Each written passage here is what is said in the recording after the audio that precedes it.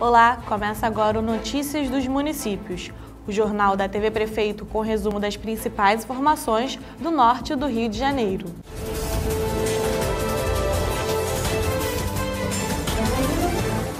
A Secretaria Municipal de Saúde, por meio da Subsecretaria de Atenção Básica, Vigilância e Promoção da Saúde, ultrapassou a meta estabelecida para o dia D de vacinação contra a Covid-19 de crianças de 5 a 11 anos em Campos.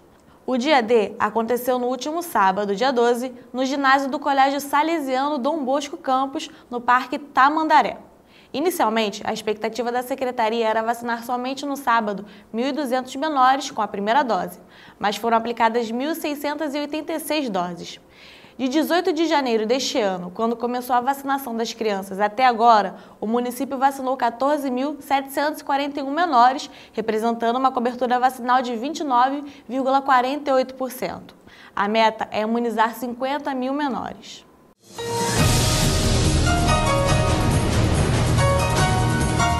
Prefeitura de Macaé, por meio da Secretaria de Mobilidade Urbana, iniciou a consulta pública nesta última segunda-feira, dia 14. A iniciativa visa ouvir a população sobre o atual sistema de transporte público e sugestões para o futuro, já que o município está agilizando o processo para uma nova licitação. Mesmo não sendo obrigatório por lei, o prefeito Elbert Rezende incluiu este instrumento para que a população possa opinar sobre o que quer que seja implementado no transporte público coletivo urbano. Para participar da consulta pública, os moradores do município podem se dirigir à sede da Secretaria de Mobilidade Urbana para preencher o formulário e dar sua opinião.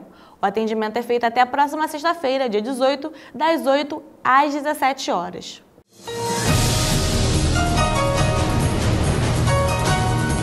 Ações integradas com as forças de segurança continuam sendo realizadas em São João da Barra para garantir a tranquilidade da população e dos visitantes. Com a coordenação do Centro Integrado de Segurança Pública, operações são intensificadas nos fins de semana, quando o litoral recebe um grande número de pessoas.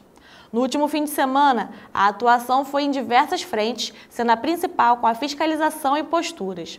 Em conjunto com a Guarda Civil Municipal e policiais da 5 Companhia do 8 Batalhão de Polícia Militar, foi realizada uma operação para coibir som além do volume permitido em veículos, estabelecimentos comerciais e residências. Os agentes atuaram também na fiscalização dos ambulantes, que foram cadastrados com QR Code e das casas de show.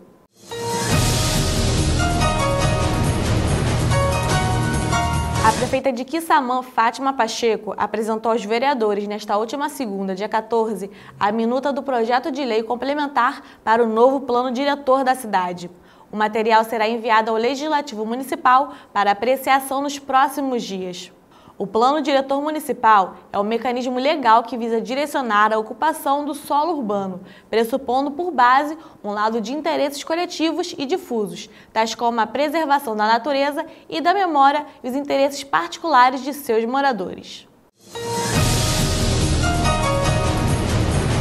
A cidade de Cardoso Moreira recebe nesta próxima sexta-feira, dia 18 de fevereiro, o Detran itinerante para atendimento dos serviços de transferência de propriedade, alteração de características, inclusão de GNV, primeira licença e emplacamento, entre outros.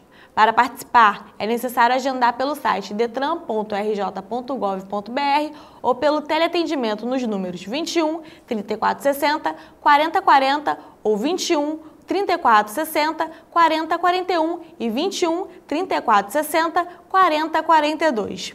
E para saber mais informações da sua região, não deixe de acessar tvprefeito.com, o portal de notícias dos municípios. Também não deixe de se inscrever em nosso canal no YouTube e de nos seguir nas redes sociais. E até a próxima edição.